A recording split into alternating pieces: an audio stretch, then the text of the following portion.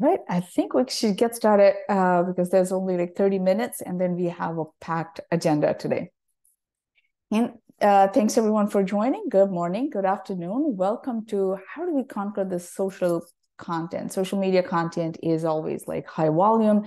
And then, especially if you're running an agency, working for an agency, creating content for multiple brands, that adds up. There is a mountain full of like content that we got to get created. So just let's uh, see how AI can help today. And then what are the things that we want to watch for? What are the things that we can use? And then because everyone is aware of the AI language at this point, and then whether we want to use it, how do we want to use it? What are the carefully things that we, we should be working on? Okay. Uh, welcome again to everyone. My name is Pushpa Atal. I'm the CEO of MarketBeam. We are in here in uh, Silicon Valley, San Francisco Bay Area, and we are a social media publishing and amplification platform. We recently integrated with ChatGPT 4, and then that's how we learned a lot in this process. And then we, I definitely want to like, you know, share that with all of you who are creating content on a daily basis. So, uh, a few things here, just like, you know, some of you asked these questions. I mean, we didn't add all the questions here, so the gist of it, let's just go through a couple of them. How to create client-centric content, a client-centric content, and that is like, you know, satisfaction. And I think like, you know, again, some of you are running agencies or working for agencies and creating content for multiple brands. To boost your agency's success, um, and others are asking how to apply AI content to social media creation. That definitely we're going to go through that today. And ChatGPT prompts for marketing copywriting and how do we tweak that to content to being original? So that's also a pretty good question. And then some of you are asking about privacy issues. So we go a little bit deeper into that but we cannot completely cover the privacy issues. There are first of all that's pretty nascent at this point. And uh, there are things that are already out there and people are discussing. So to this i want to add my question right? So the gpt words that are like you know when you create if you're already creating content. So there are some words that are repetitive in the content that gpt creates. In today's connected world or however moreover. So these are words that we don't usually typically use in but gpt uses that a lot. And then harnessing the power of in conclusion, the future of. So these are just words to like, you know, that are already people noticing. And then if you start your content with any of these, they start looking at, okay, is it AI created? Is it like, you know, was there any other thoughts that are put into this? So I would add to my my own question list here is how do we like you know detect and then kind of like you know avoid this? How can we avoid these pitfalls? So uh, among the people here, I want to see how many of you are already using AI for your content creation. Uh, if you're using, if you're not using, or if you don't want to disclose it because you're an agency, that's fine too. So please let me know looks like 80% of you are using 20% not yet. So that's that's a good split because i think there is, there are people that are still debating whether to use it or not for various reasons. Either they're not um, okay it 83% and 17% no. Okay so there are some companies that are still evaluating and then how it works out for them. So thanks for answering. So i think a huge percentage of you here already have used or using it consistently so you know what to watch for. So just some uh, marketing statistics here right? So stats uh, over six hours people spend over six hours a week kind of creating content. It's very very typical. And 61% of marketers find content creation and production on top of the challenges. So that's also i think we can now like you know tell there is writer's block and human errors. There are so many things again like you know high volume right? So it's high volume. And then also we need high quality every day in our content. So then 47% of consumers unfollow brands because it's not relevant. So sometimes with lack of creativity on a daily basis we tend to create content that may not be super relevant. And then that's not going to give us enough engagement or roi and of course like you know when it comes to social media content uh, and then the platforms themselves of course there's a huge b2b um, population in linkedin and then next comes twitter. But it might even be dated. Probably like you know we don't have the stats on threads yet. So some of the challenges that we see with especially agencies, we also work with agencies. We are a product company, but many agencies use our product to create content for their own brands and multiple brands, right? So multiple brands. So major challenges that they see is personalization and relevance because every brand they need if the, if you are managing even five brands you need to understand five different industries five different brands what there was and what their audience what social networks they're popular in and then how do you communicate to that that's a lot of uh, just research work intelligence and then also like you know skills in that industry. That's a lot that's that needs to be like you know fed into the training of every content writer which adds up cost and then also it takes too long. So time and resources yes we all want to that brand voice and adapting to algorithm changes that's the hardest hardest one for every social network when you're working on it there are changes in algorithms and we need to be changing too in order to catch up. Like you know what are the number of hashtags that you want to have? Is it 5 is it 10 15 what is the right number? And these things change as well over a period of time. And then compliance and legal issues. So this is this is not very prominent at this point, but it might be because there are no rules in any of the industry yet to use or not to use AI for their content creation. But at the same time, everyone is also speculating, many industries, is that what what happens to their SEO? So is Google or Bing going to detect and then penalize? But that has not happened yet. So that's why there are a few things that we want to do to avoid those. Even in the future, the content that you're writing now should also have a life and engagement in the future if those things come into picture. And then centralized content system, um, that kind of like boils down to the tools that are using. So if you are using GPT's UI itself, and then transferring that into another tool and again like you know like managing it there and making edits either in gpt or in your own tool for your social media content. So it is kind of like you know there are two things that you need to use. It sometimes it takes away the time that you are saving um, because of that. So I, again, like, you know, I want to know a little bit more about what challenges that you think you're facing and then what are top of the priority for you guys. Again, consistent brand voice is a really hard one to achieve.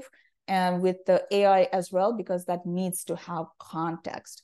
And then, of course, like, you know, we have, you know, time and then resources and uh, just training writers. So training writers, going back to my point about just knowing the industry and then if you're managing multiple brands it's hard to train new resources and you don't even find resources that can be flexible and then uh, no integrated ai tool so that is becoming a challenge in just the work uh, that you're spending here too so time is the top answer thanks for answering the poll here time is the top answer uh, no, it's changing.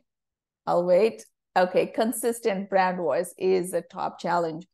So, and then a lot of you also said time is a is a pretty uh, big challenge. Seventy one percent of you said time is a top challenge. Consistent brand voice; those are the two ones.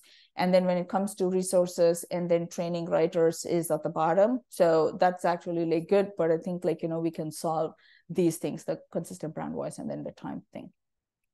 Thanks for answering. Let's here. So there are a lot of um, choices for you to use GPT-4. And then today we'll be focusing on social media copy alone. And it's all about the prompts. So we've been talking about prompts and the prompt engineering. and then i recently heard that people don't want to call it prompt engineering prompt skill and you know many terminologies around that but prompt engineering is being the most popular out there today so when we work with the api of gpt so we can understand a lot more. That means what it exactly like you know how they prioritize the input that they get what type of input uh, should be given first of all right? So starting from setting a role. So setting a role is a very very key thing in the api so when you do not set a role even when you're using gpt directly from the ui that's going to give a completely different result like for example you are a brand manager or you're a thought leader or you're like you know um, a VP marketing of a company. So whatever that is, or more details you give, like for example, I'm a B2B marketer for a cybersecurity company. So that's even more detailed about like, you know, what you are looking to write. So setting a role is very, very critical. So you are a brand manager. So we'll at the end of it, we'll just type this on ChatGPT right in this call, and then we'll see how it works. Okay. So the next thing is setting the character length. So if you do not set the character length when while you are creating a social media post, it's going to be very lengthy. And when GPT does not have enough context, it tries to fill fluff words. That's when it just goes back and then writes all those things in the world of and however in conclusion and all these things because it needs to write a certain length, but it does not have enough context. So limit that with the number of characters that you see. So what we've seen for uh, LinkedIn right now, what it works uh, based on our database is around 300 to 400, but there are many caveats to it. If you want to uh, get a copy of our research on just the social media, especially LinkedIn character length, just drop your email here in the chat. We'll be able to send that to you. Uh, it's a white paper based on our own research and uh, the database research and then also algorithm research. And you are a brand manager, write a 300 character LinkedIn post. So we're adding to that, right? And then the next thing is the topic itself. What are you doing? Right? You know, promoting an event, promoting a blog post, or like, you know, very specifically, are you welcoming your VP marketing? so these things you definitely like you know want to add what the context is and we're adding that right so and then promote this blog post we write put this whole entire url there so thinking that we would give context and also control your hashtags and emojis if you do not add how many emojis you want or you don't want it's going to give poor with emojis at this point so still like GPT is learning from AI, whether people want to use emojis or not, but it's going to be like very relevant images is what we've seen. And then it's not adding value to the content and it's even distraction because it adds a lot of emojis inside the text itself. So, and then the number of hashtags too. So we have found five hashtags is the best. You got to have five hashtags. That's the optimum number of hashtags. But you can, of course, like, you know, go fewer or uh, higher a little bit. And emojis too include, should not include emojis.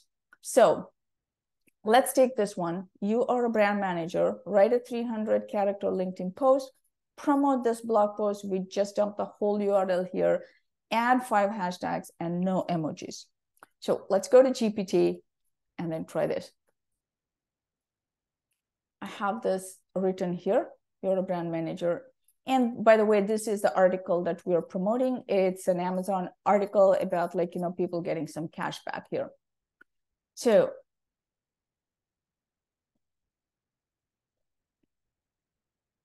has something okay so we are able to control the hashtags right explore our latest blog discussing how amazon is revolutionizing delivery so again this word revolutionizing so just keep track of this because people already know that these words are very GPT based words. If you want to like, you know, make sure that it is personalized and then not GPT based, and then make sure you use don't use that. Revolutionizing delivery by incentivizing customer to pick up packages. Okay, so this is this looks all right, but this does not have enough context into like, you know, what this is. This very detailed uh, blog post here. And then just to compare it, this is MarketBeam's you user interface. And uh, what we do is just drop in this URL. And I would say compose, probably just, you know, promote this blog post. And I don't have to write anything, setting the rules, setting the role or hashtags or like, you know, the number of characters, everything is actually like, you know, done by the layered here, the, the prompt engineering. So we'll see what type of uh, information it gives. The basic difference between just go directly going into GPT and then what we've built here is, um, let me just see here.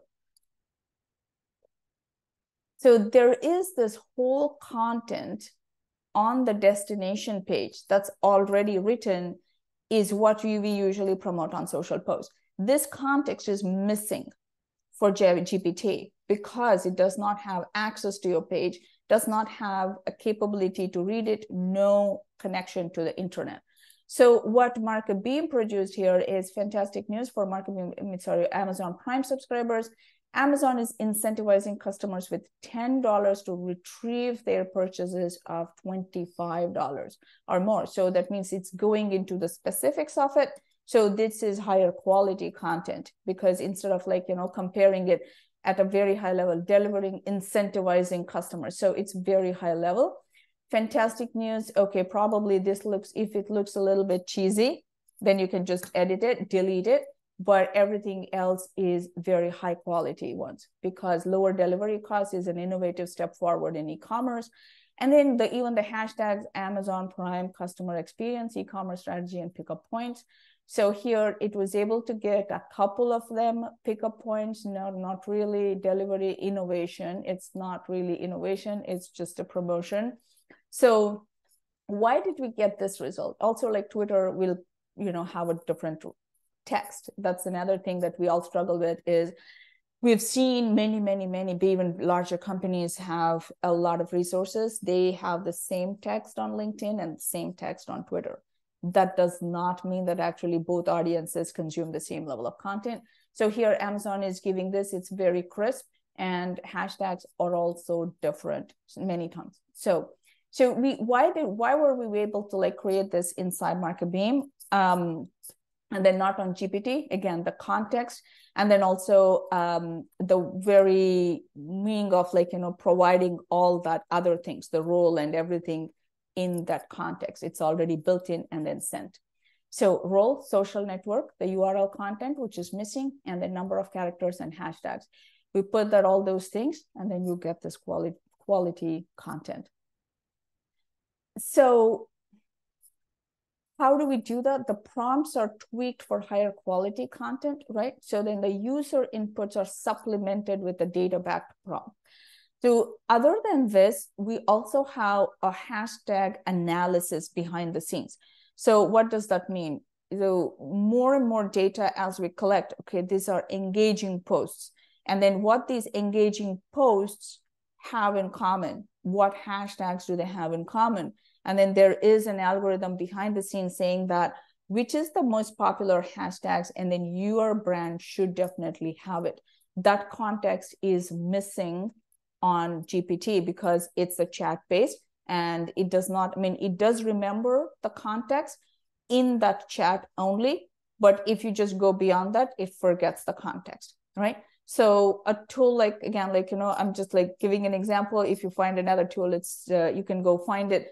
So, but in MarketBeam, I can only speak for that. What kind of research we did is if you know what hashtags are performing better, and then we include that in creating the prompt itself so that you get higher quality that brand related um, content so inputs from analytics yeah that's the one one is the hashtag and number of hashtags and then basically the number of characters which is a very popular uh, metric for us. And then it's a hard one to like you know see that let's say you have 20 or 30 posts to analyze and humanly it is almost close to impossible to see what type of engagement each one of those posts get and what was the hashtag that was common and then what's the number of characters that's optimum for your post and your brand. So all these things are again like you know machine based analytics we have inside the product and then once you start posting more and more and then ai on top of ai and machine learning it actually understands those things and then gives that as an input. So your content creation becomes a lot more easier for your end but it becomes a lot more qualitative and then complex um, because the api needs to have more context in order to bring more um, qualified things so uh, i would actually like you know be open to taking any questions if you have. Uh, please go through that. And one of the other things we do as well is publishing is here. So when we create this content, the, the pages are already create, uh, connected, and then you can po post it right away here. So that's the one I was talking about, the tool. If you have a tool that's already integrated, the content creation and publishing, just use that tool. Otherwise, you're going to be like spending anyway more time transferring from one tool to another. Here, we are creating the content inside and also publishing. We also do employee amplification, which is just the, I call it the magic checkbox. That means everyone either in your brand's company that you're working with or your own, if you're creating content for your own brands, just asking your colleagues to reshare, that's also included everything in one workflow so that it's just like, you know, again, going, going back to most of you talking about the time saving. So that's where it actually like, you know, helps. Um, I would kind of like skip this video. This is, uh, I already showed this, showed this in, um, in my demo here. So if you have any questions, uh, ask away. Uh, you can use the Q&A here. But otherwise, for thanks for attending. And then we are actually giving away two week of free trial, free trial of the whatever you saw right now, MarketBeam's. You can create social media content, connect to a page, publish it, and right away, and then also see analytics on top of it. So see that in the chat, there is actually like, you know, um, a meeting link. If you want to give it a try, just like, you know, schedule a 15 minute call. That should be sufficient. You don't need a whole 30 minutes. So 15 minutes call and also like, you know, give your email. So we'll all be set up before you get onto the call and then you'll be able to like, you know, have access to it and then see how to use it. Mm, go ahead. So Pragya, can you please put the meeting invite here, please? The meeting link.